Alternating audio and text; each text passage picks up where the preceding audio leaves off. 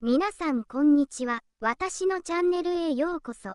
2018年5月16日に亡くなった歌手、西城秀樹さん、去年63の長男、木本慎之介、21が25日までに、レスリングの元世界女王、吉田沙保里さん、42の SNS に登場した。写真、超絶イケメン、パパの西城秀樹さんに似てる。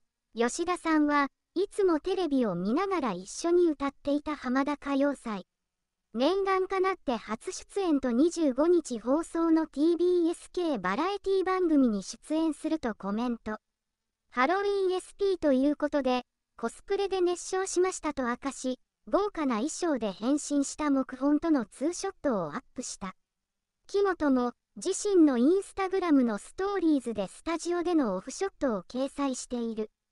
木本は2003年9月1日生まれで、身長175センチ。